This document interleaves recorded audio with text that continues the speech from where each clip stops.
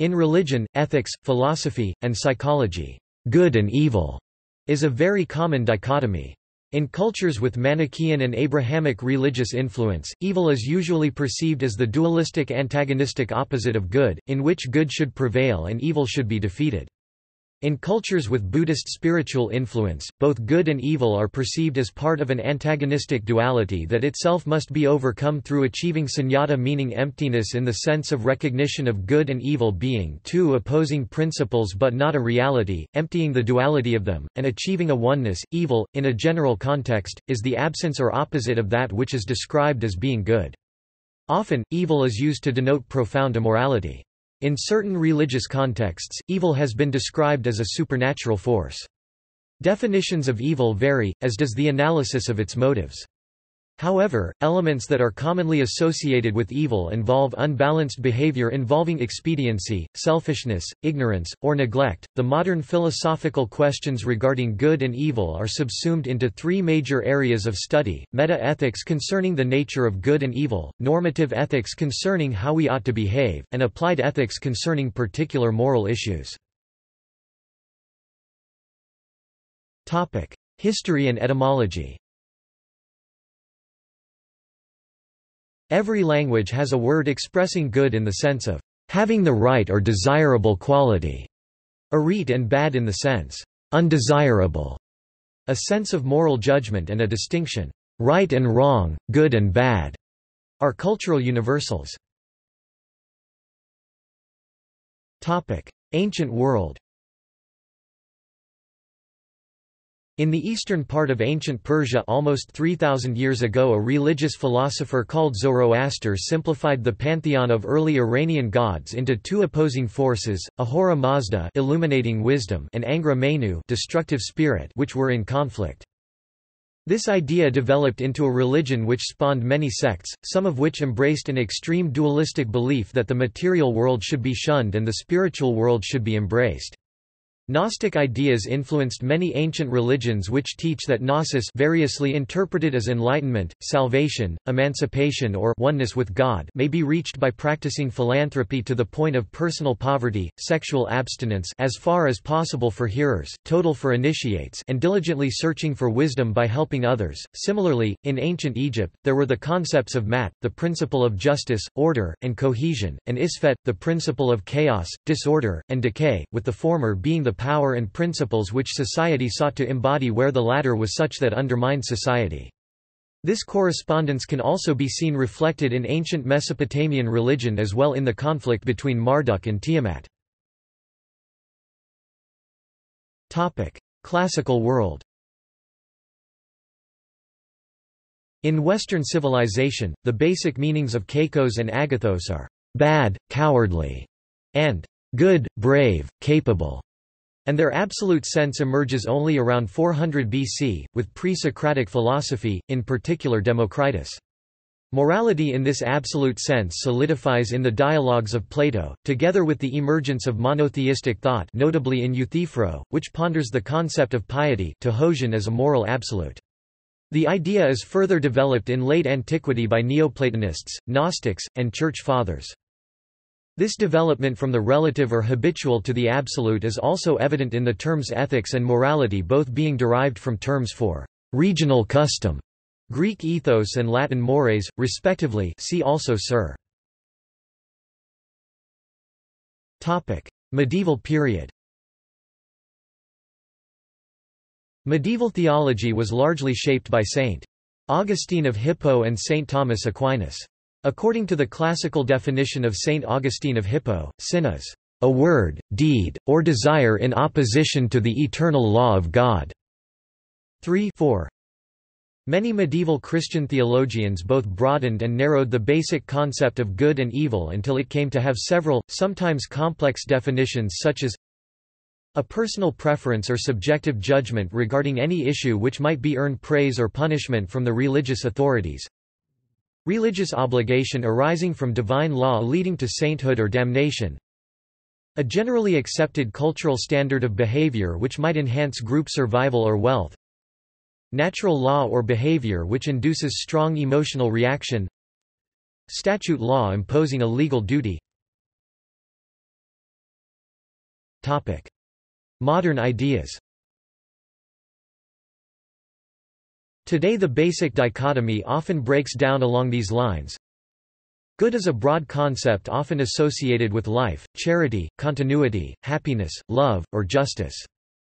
Evil is often associated with conscious and deliberate wrongdoing, discrimination designed to harm others, humiliation of people designed to diminish their psychological needs and dignity, destructiveness, and acts of unnecessary or indiscriminate violence. The modern English word evil, Old English evil and its cognates such as the German übel and Dutch uvel are widely considered to come from a Proto-Germanic reconstructed form of asterisk ubala, comparable to the Hittite hawap ultimately from the Proto-Indo-European form asterisk wap and suffixed 0 Grade form *ello. Other later Germanic forms include Middle English evil, eifel, ufel, Old Frisian evil adjective and noun, Old Saxon ubel, Old High German ubel, and Gothic ubels. The nature of being good has been given many treatments, one is that the good is based on the natural love, bonding, and affection that begins at the earliest stages of personal development, another is that goodness is a product of knowing truth. Differing views also exist as to why evil might arise. Many religious and philosophical traditions claim that evil behavior is an aberration that results from the imperfect human condition e.g., the fall of man. Sometimes, evil is attributed to the existence of free will and human agency. Some argue that evil itself is ultimately based in an ignorance of truth i.e., human value, sanctity, divinity. A variety of Enlightenment thinkers have alleged the opposite, by suggesting that evil is learned as a consequence of tyrannical social structures. Topic: Theories of moral goodness. Topic: Chinese moral philosophy. In Confucianism and Taoism, there is no direct analogue to the way good and evil are opposed, although references to demonic influence is common in Chinese folk religion. Confucianism's primary concern is with correct social relationships and the behavior appropriate to the learned or superior man. Evil would thus correspond to wrong behavior. Still less does it map into Taoism, in spite of the centrality of dualism in that system, but the opposite of the basic virtues of Taoism compassion, moderation, and humility can be inferred to be the analogue of evil in it. Western philosophy Pyrrhonism Pyrrhonism holds that good and evil do not exist by nature, meaning that good and evil do not exist within the things themselves.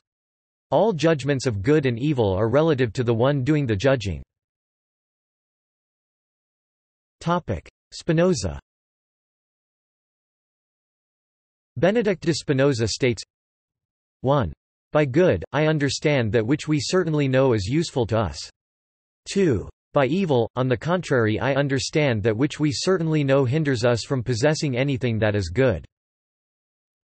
Spinoza assumes a quasi-mathematical style and states these further propositions which he purports to prove or demonstrate from the above definitions in Part 4 of his Ethics.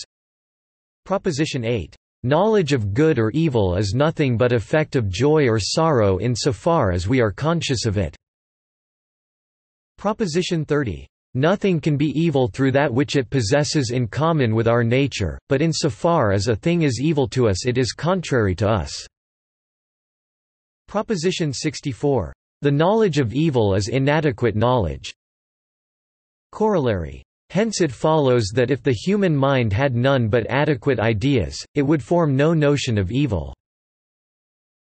Proposition 65. According to the guidance of reason, of two things which are good, we shall follow the greater good, and of two evils, follow the less. Proposition 68. If men were born free, they would form no conception of good and evil so long as they were free. Nietzsche Friedrich Nietzsche, in a rejection of the Judeo-Christian morality, addresses this in two works, Beyond Good and Evil and On the Genealogy of Morals, where he essentially says that the natural functional non-good has been socially transformed into the religious concept of evil by the slave mentality of the weak and oppressed masses who resent their masters the strong. He also makes a critique of morality by saying that many who consider themselves to be moral are simply acting from cowardice wanting to do evil but scared of the repercussions. Topic: Psychology. Topic: Carl Jung. Carl Jung, in his book Answer to Job and elsewhere, depicted evil as the dark side of the devil. People tend to believe evil is something external to them, because they project their shadow onto others. Jung interpreted the story of Jesus as an account of God facing his own shadow. Philip Zimbardo. In 2007, Philip Zimbardo suggested that people may act in evil ways as a result of a collective identity. This hypothesis, based on his previous experience from the Stanford Prison Experiment, was published in the book The Lucifer Effect, Understanding How Good People Turn Evil. Religion. Bahá'í Faith The Bahá'í Faith asserts that evil is non-existent and that it is a concept for the lacking of good, just as cold is the state of no heat, darkness is the state of no light, forgetfulness the lacking of memory, ignorance the lacking of knowledge. All of these are states of lacking and have no real existence, thus, evil does not exist, and is relative to man. Abdul Baha, son of the founder of the religion, in some answered questions states, Nevertheless a doubt occurs to the mind, that is, scorpions and serpents are poisonous. Are they good or evil, for they are existing beings? Yes, a scorpion is evil in relation to man, a serpent is evil in relation to man, but in relation to themselves they are not evil, for their poison is their weapon, and by their sting they defend themselves, thus, evil is more of an intellectual concept than a true reality. Since God is good, and upon creating creation he confirmed it by saying it is good Genesis chapter 1 verse 31 evil cannot have a true reality. Buddhism The primal duality in Buddhism is between suffering and enlightenment, so the good versus evil splitting has no direct analogue in it. One may infer however from the general teachings of the Buddha that the catalogued causes of suffering are what correspond in this belief system to evil. Practically this can refer to 1 the three selfish emotions desire, hate and delusion, and 2 to their expression in physical and verbal actions. See 10 unvirtuous actions in Buddhism. Specifically, evil means whatever harms or obstructs the causes for happiness in this life, a better rebirth, liberation from samsara, and the true and complete enlightenment of a Buddha What is evil? Killing is evil, lying is evil, slandering is evil, abuse is evil, gossip is evil, envy is evil, hatred is evil, to cling to false doctrine is evil, all these things are evil. And what is the root of evil? Desire is the root of evil, illusion is the root of evil. Gautama Siddhartha, the founder of Buddhism, 563 to 483 BC. Topic: Hinduism In Hinduism the concept of dharma or righteousness clearly divides the world into good and evil, and clearly explains that wars have to be waged sometimes to establish and protect dharma, this war is called dharmayuddha.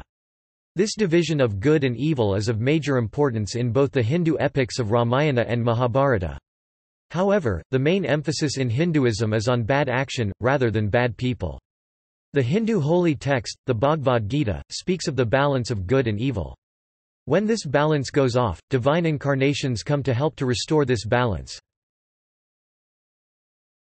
Sikhism In adherence to the core principle of spiritual evolution, the Sikh idea of evil changes depending on one's position on the path to liberation. At the beginning stages of spiritual growth, good and evil may seem neatly separated. However, once one's spirit evolves to the point where it sees most clearly, the idea of evil vanishes and the truth is revealed. In his writings Guru Arjan explains that, because God is the source of all things, what we believe to be evil must too come from God.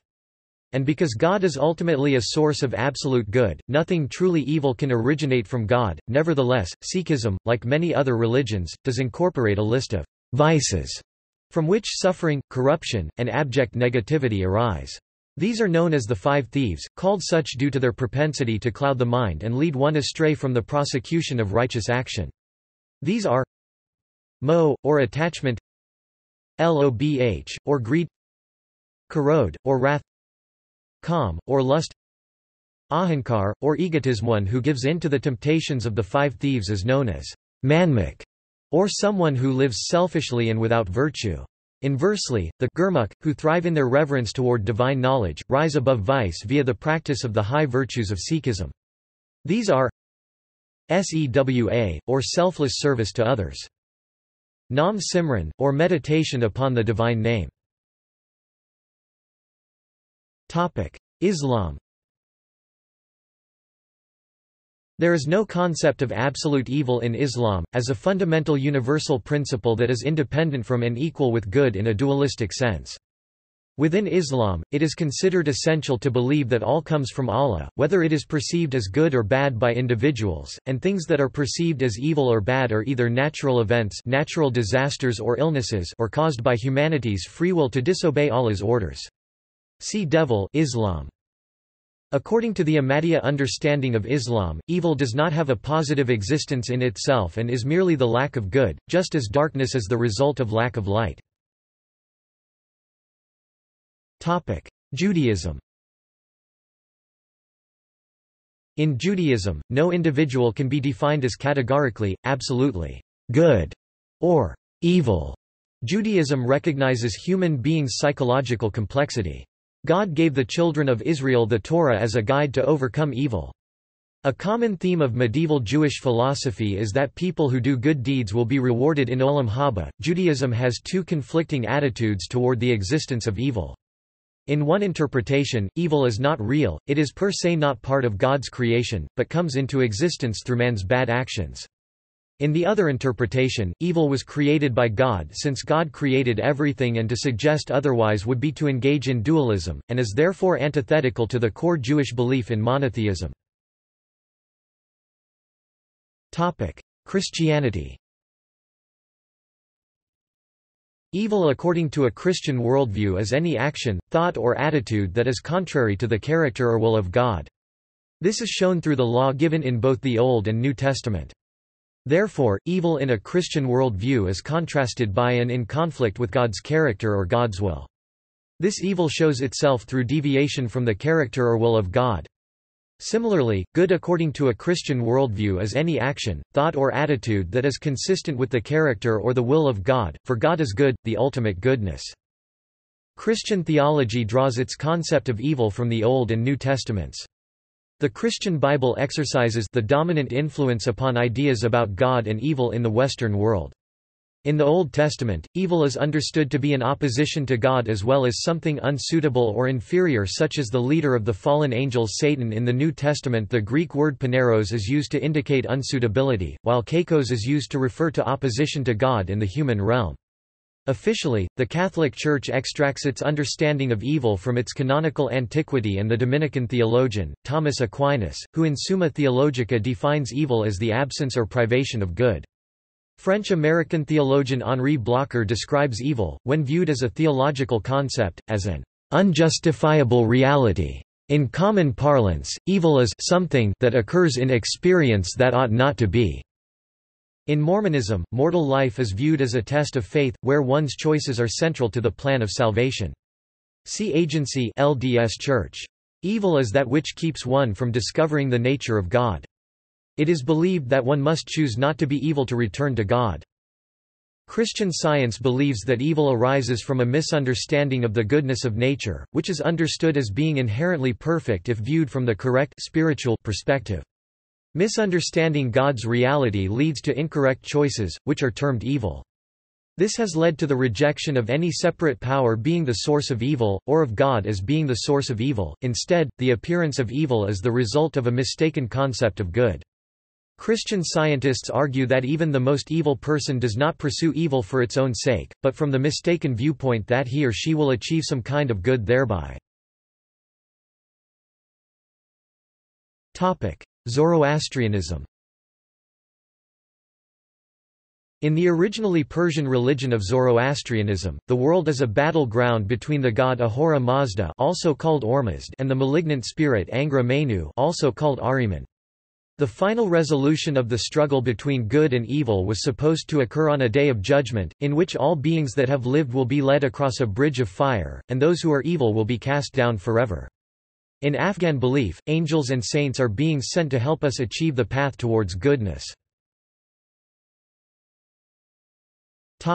Descriptive, meta-ethical, and normative fields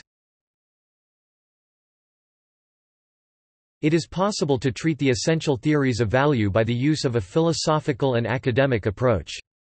In properly analyzing theories of value, everyday beliefs are not only carefully catalogued and described, but also rigorously analyzed and judged. There are at least two basic ways of presenting a theory of value, based on two different kinds of questions.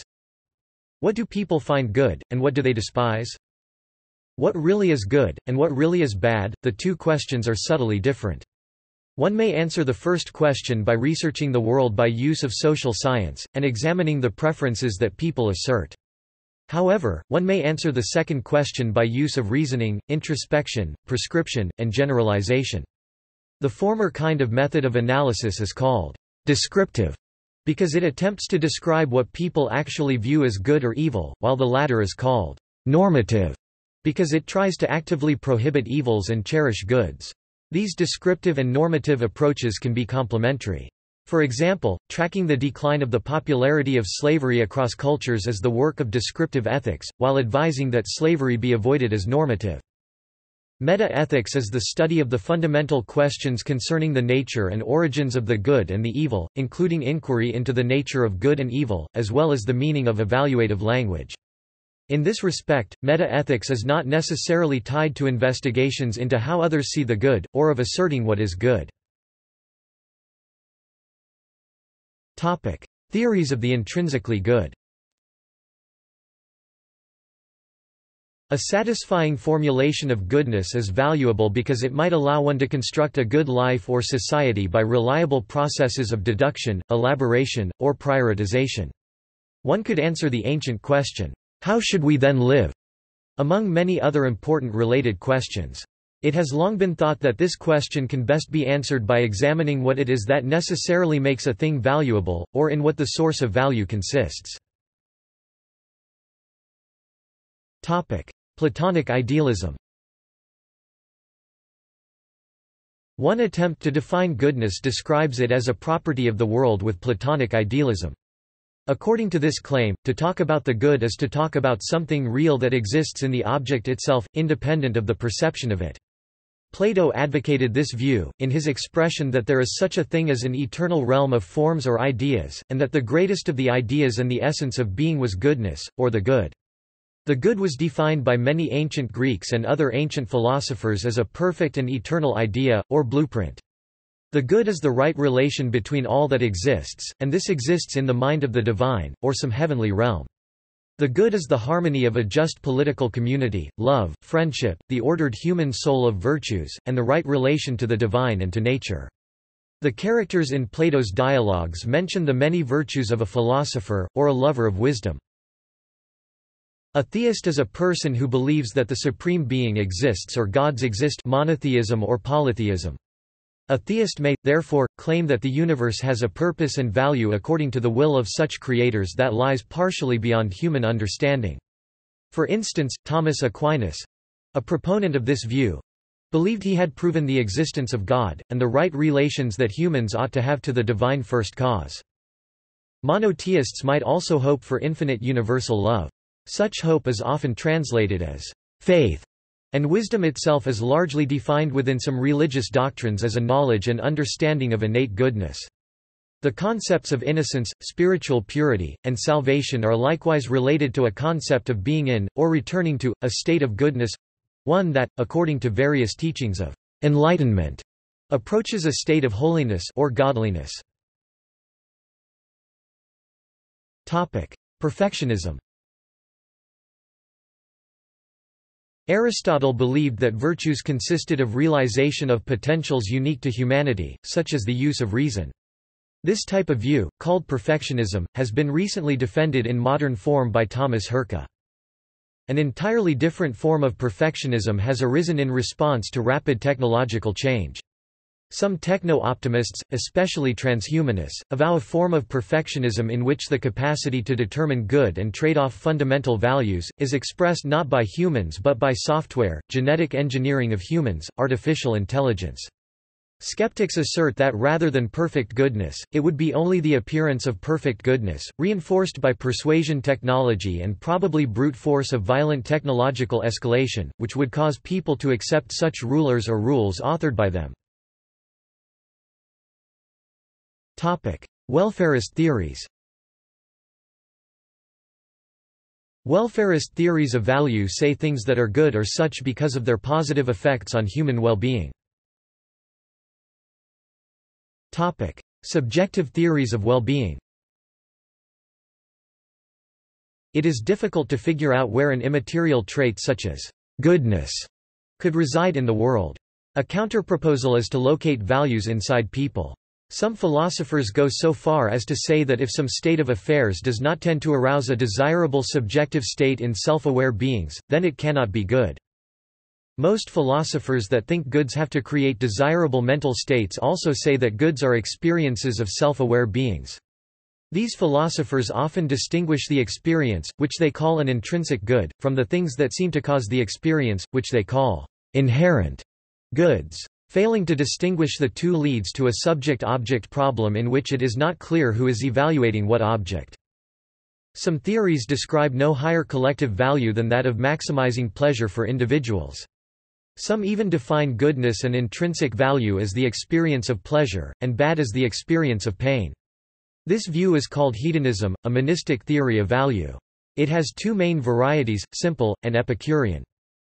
Simple hedonism is the view that physical pleasure is the ultimate good. However, the ancient philosopher Epicurus used the word pleasure in a more general sense that encompassed a range of states from bliss to contentment to relief.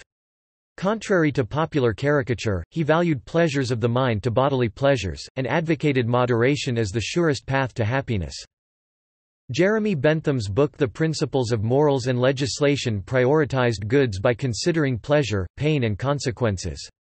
This theory had a wide effect on public affairs, up to and including the present day. A similar system was later named utilitarianism by John Stuart Mill. More broadly, utilitarian theories are examples of consequentialism. All utilitarian theories are based upon the maxim of utility, which states that good is whatever provides the greatest happiness for the greatest number.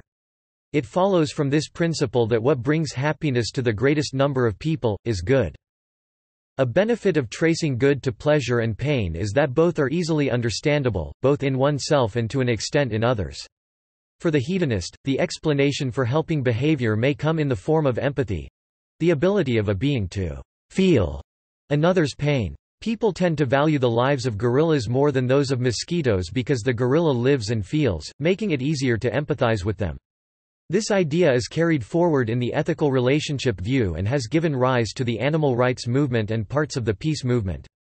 The impact of sympathy on human behavior is compatible with Enlightenment views, including David Hume's stances that the idea of a self with unique identity is illusory, and that morality ultimately comes down to sympathy and fellow feeling for others, or the exercise of approval underlying moral judgments. A view adopted by James Griffin attempts to find a subjective alternative to hedonism as an intrinsic value. He argues that the satisfaction of one's informed desires constitutes well-being, whether or not these desires actually bring the agent happiness. Moreover, these preferences must be life-relevant, that is, contribute to the success of a person's life overall. Desire satisfaction may occur without the agent's awareness of the satisfaction of the desire. For example, if a man wishes for his legal will to be enacted after his death, and it is, then his desire has been satisfied even though he will never experience or know of it. Meher Baba proposed that it is not the satisfaction of desires that motivates the agent but rather, a desire to be free from the limitation of all desires.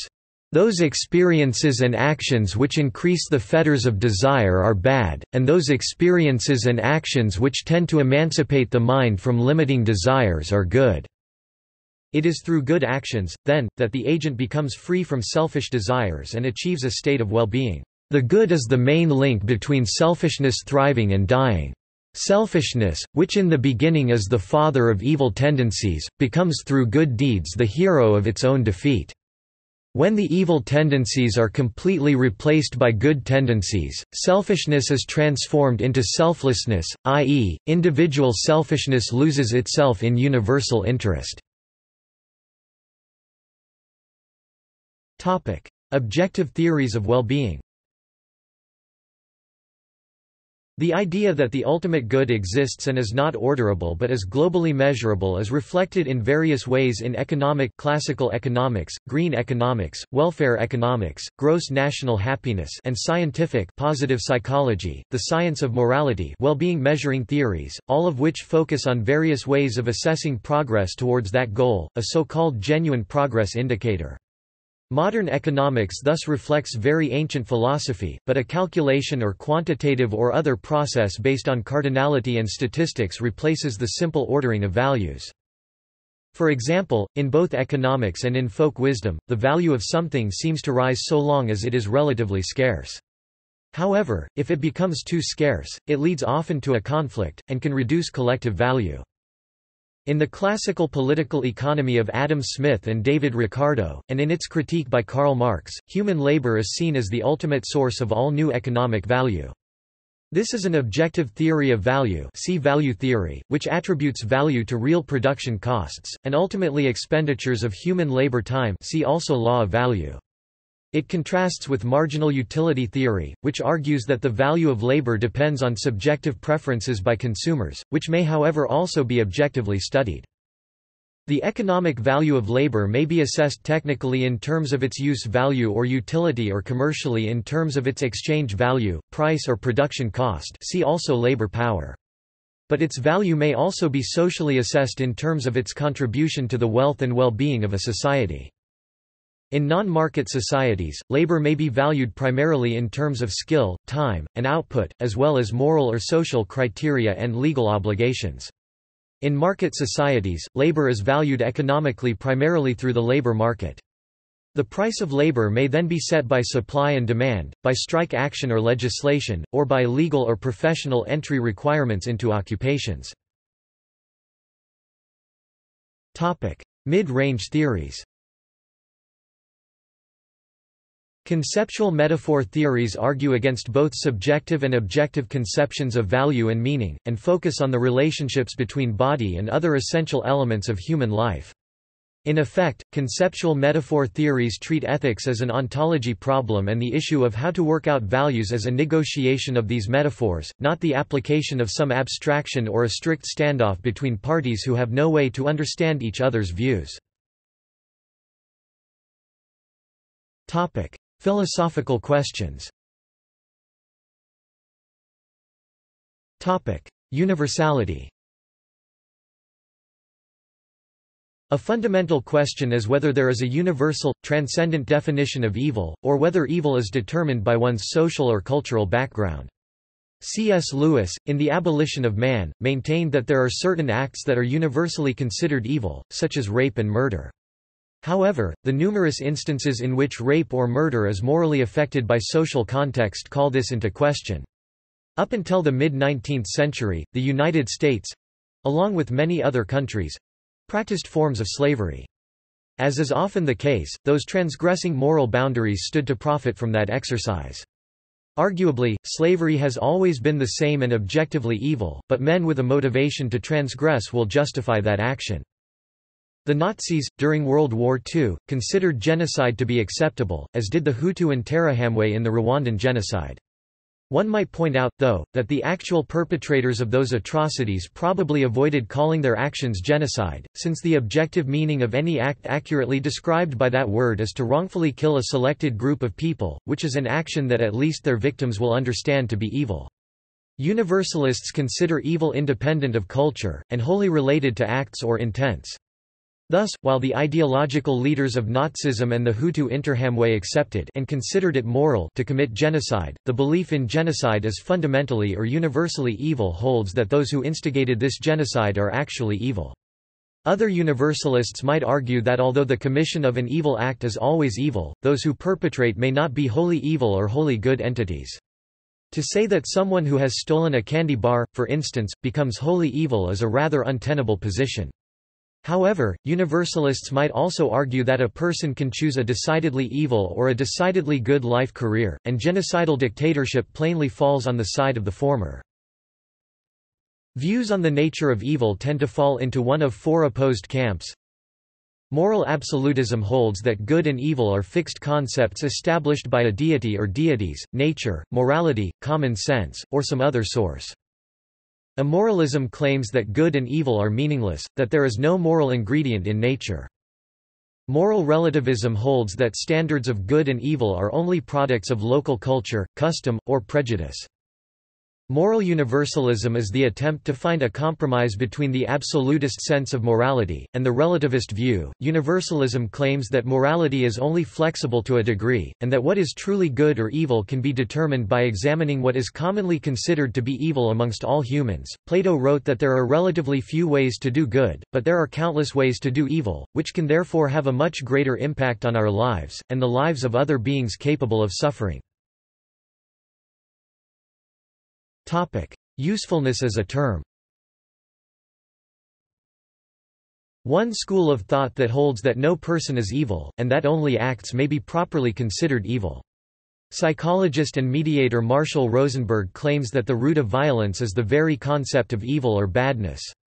When we label someone as bad or evil, Rosenberg claims, it invokes the desire to punish or inflict pain. It also makes it easy for us to turn off our feelings towards the person we are harming. He cites the use of language in Nazi Germany as being a key to how the German people were able to do things to other human beings that they normally would not do. He links the concept of evil to our judicial system, which seeks to create justice via punishment—punitive justice, punishing acts that are seen as bad or wrong. He contrasts this approach with what he found in cultures in which the idea of evil was non-existent. In such cultures when someone harms another person, they are believed to be out of harmony with themselves and their community, are seen as sick or ill and measures are taken to restore them to a sense of harmonious relations with themselves and others. Psychologist Albert Ellis agrees, in his school of psychology called Rational Emotive Behavioral Therapy, or REBT. He says the root of anger, and the desire to harm someone, is almost always related to variations of implicit or explicit philosophical beliefs about other human beings.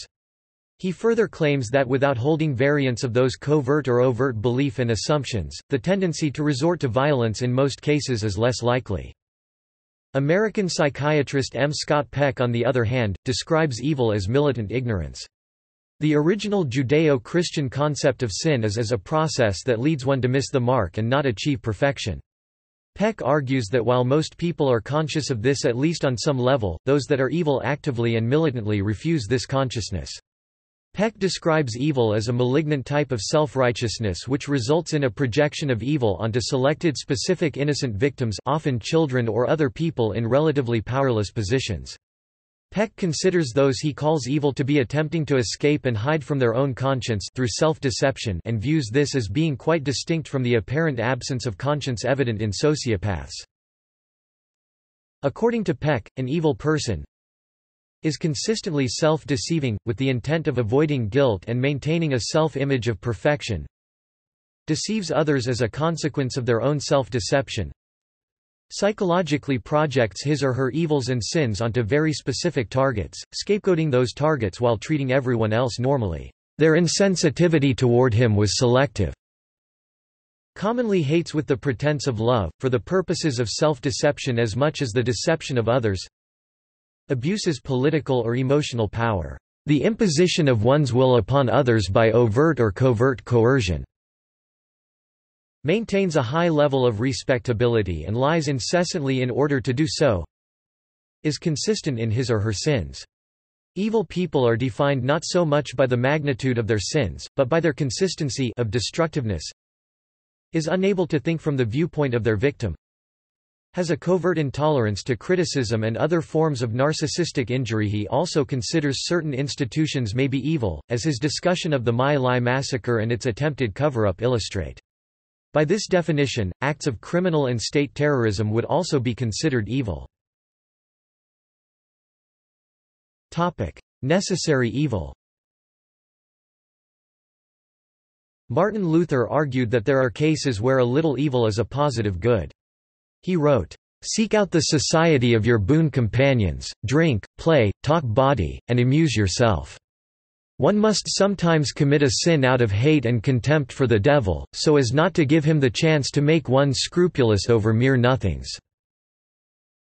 According to certain schools of political philosophy, leaders should be indifferent to good or evil, taking actions based only upon practicality. This approach to politics was put forth by Niccolò Machiavelli, a 16th-century Florentine writer who advised politicians less than pre greater than slash pre greater than dot dot dot it is far safer to be feared than loved. The international relations theories of realism and neorealism, sometimes called realpolitik advise politicians to explicitly ban absolute moral and ethical considerations from international politics, and to focus on self-interest, political survival, and power politics, which they hold to be more accurate in explaining a world they view as explicitly amoral and dangerous. Political realists usually justify their perspectives by laying claim to a higher moral duty specific to political leaders, under which the greatest evil is seen to be the failure of the state to protect itself and its citizens.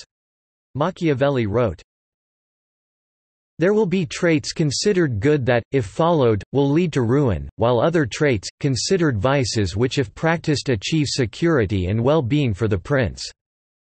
Anton LaVey, founder of the Church of Satan, was a materialist and claimed that evil is actually good. He was responding to the common practice of describing sexuality or disbelief as evil, and his claim was that when the word evil is used to describe the natural pleasures and instincts of men and women, or the skepticism of an inquiring mind, the things called evil are really good. Goodness and agency Goodwill John Rawls' book A Theory of Justice prioritized social arrangements and goods based on their contribution to justice. Rawls defined justice as fairness, especially in distributing social goods, defined fairness in terms of procedures, and attempted to prove that just institutions and lives are good, if rational individuals' goods are considered fairly. Rawls's crucial invention was the original position, a procedure in which one tries to make objective moral decisions by refusing to let personal facts about oneself enter one's moral calculations. One problem with the thinkings of Rawls is that it is overly procedural. Procedurally fair processes of the type used by Rawls may not leave enough room for judgment, and therefore, reduce the totality of goodness. For example, if two people are found to own an orange, the standard fair procedure is to cut it in two and give half to each.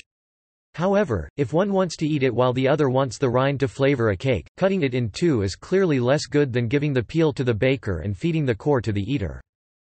Applying procedural fairness to an entire society therefore seems certain to create recognizable inefficiencies, and therefore be unfair, and by the equivalence of justice with fairness unjust.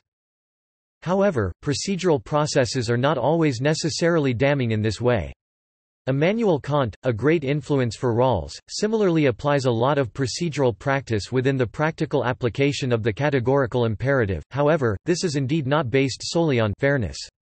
Even though an example like the one above regarding the orange would not be something that required the practical application of the categorical imperative, it is important to draw distinction between Kant and Rawls, and note that Kant's theory would not necessarily lead to the same problems Rawls does i.e., the cutting in half of the orange. Kant's theory promotes acting out of duty—acting for the summum bonum for him, the good will—and in fact encourages judgment, too. What this would mean is that the outcome of the oranges distribution would not be such a simple process for Kant as the reason why it would be wanted by both parties would necessarily have to be a part of the judgment process, thus eliminating the problem that Rawls' account suffers here. Society, life and ecology Many views value unity as a good, to go beyond eudaimonia by saying that an individual person's flourishing is valuable only as a means to the flourishing of society as a whole. In other words, a single person's life is, ultimately, not important or worthwhile in itself, but is good only as a means to the success of society as a whole. Some elements of Confucianism are an example of this, encouraging the view that people ought to conform as individuals to demands of a peaceful and ordered society. According to the naturalistic view, the flourishing of society is not, or not the only, intrinsically good thing. Defenses of this notion are often formulated by reference to biology, and observations that living things compete more with their own kind than with other kinds. Rather, what is of intrinsic good is the flourishing of all sentient life, extending to those animals that have some level of similar sentience, such as great ape personhood. Others go farther, declaring that life itself is of intrinsic value. By another approach, one achieves peace and agreement by focusing, not on one's peers who may be rivals or competitors, but on the common environment. The reasoning, as living beings it is clearly and objectively good that we are surrounded by an ecosystem that supports life. Indeed, if we weren't, we could neither discuss that good nor even recognize it. The anthropic principle in cosmology recognizes this view, under materialism or even embodiment values, or in any system that recognizes the validity of ecology as a scientific study of limits and potentials, an ecosystem is a fundamental good. To all who investigate, it seems that goodness, or value, exists within an ecosystem, Earth. Creatures within that ecosystem and wholly dependent on it, evaluate good relative to what else could be achieved there. In other words, good is situated in a particular place and one does not dismiss everything that is not available there such as very low gravity or absolutely abundant sugar candy as not good enough. One works within its constraints. Transcending them and learning to be satisfied with them, is thus another sort of value, perhaps called satisfaction. Values and the people that hold them seem necessarily subordinate to the ecosystem. If this is so, then what kind of being could validly apply the word good to an ecosystem as a whole? Who would have the power to assess and judge an ecosystem as good or bad? By what criteria? And by what criteria would ecosystems be modified, especially larger ones such as the atmosphere climate change or oceans extinction or forests deforestation? Remaining on Earth as the most basic value. While green ethicists have been most forthright about it, and have developed theories of Gaia philosophy, biophilia, bioregionalism that reflect it, the questions are now universally recognized as central in determining value, e.g. the economic value of Earth to humans as a whole, or the value of life that is neither whole Earth nor human. Many have come to the conclusion that without assuming ecosystem continuation as a universal good, with attendant virtues like biodiversity and ecological wisdom it is impossible to justify such operational requirements as sustainability of human activity on Earth. One response is that humans are not necessarily confined to Earth, and could use it and move on. A counter-argument is that only a tiny fraction of humans could do this, and they would be self-selected by ability to do technological escalation on others for instance, the ability to create large spacecraft to flee the planet in, and simultaneously fend off others who seek to prevent them. Another counter-argument is that extraterrestrial life would encounter the fleeing humans and destroy them as a locust species. A third is that if there are no other worlds fit to support life and no extraterrestrials who compete with humans to occupy them it is both futile to flee, and foolish to imagine that it would take less energy and skill to protect the Earth as a habitat than it would take to construct some new habitat. Accordingly, remaining on Earth, as a living being surrounded by a working ecosystem, is a fair statement of the most basic values and goodness to any being we are able to communicate with. A moral system without this axiom seems simply not actionable. However, most religious systems acknowledge an afterlife and improving this is seen as an even more basic good. In many other moral systems, also, remaining on earth in a state that lacks honor or power over self is less desirable. Consider seppuku in Bushido, kamikazes or the role of suicide attacks in jihadi rhetoric. In all these systems, remaining on earth is perhaps no higher than a third-place value. Radical values environmentalism can be seen as either a very old or a very new view, that the only intrinsically good thing is a flourishing ecosystem, individuals and societies are merely instrumentally valuable, good only as means to having a flourishing ecosystem.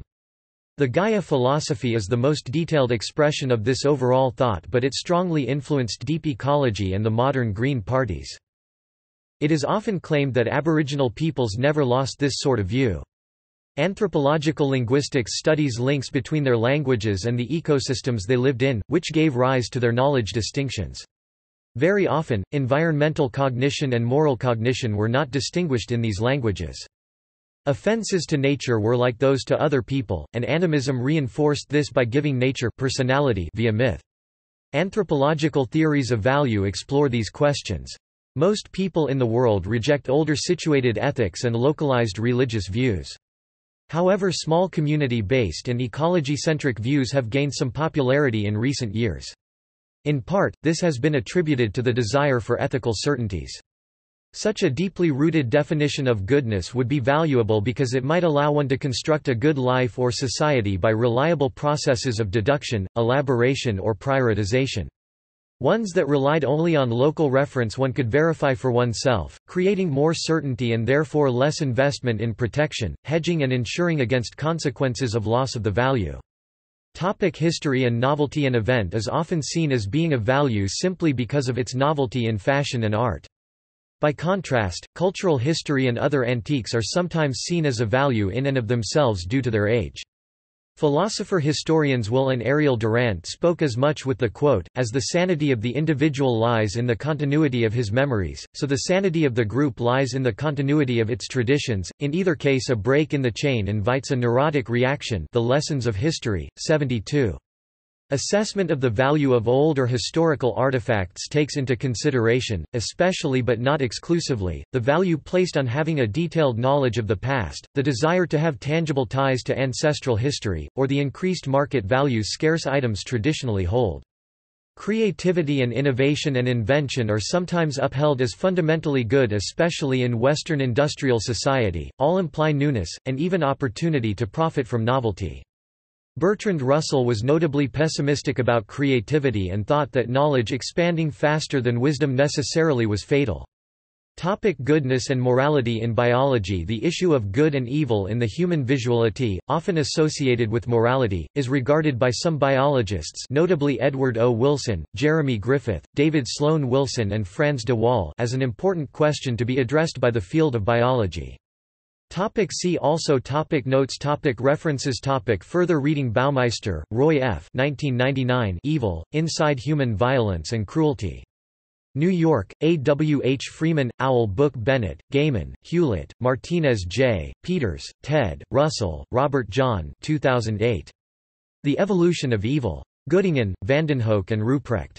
ISBN 978-3-525-56979-5 Katz, Fred Emil 1993 Ordinary People and Extraordinary Evil, SUNY Press, ISBN 0-7914-1442-6, Katz, Fred Emil 2004 Confronting Evil, SUNY Press, ISBN 0-7914-6030-4. Neiman, Susan. Evil in Modern Thought – An Alternative History of Philosophy. Princeton, Princeton University Press, 2002. Oppenheimer, Paul 1996. Evil and the Demonic, A New Theory of Monstrous Behavior. New York, New York University Press. ISBN 0-8147-6193-3. Shermer, M. 2004. The Science of Good and Evil.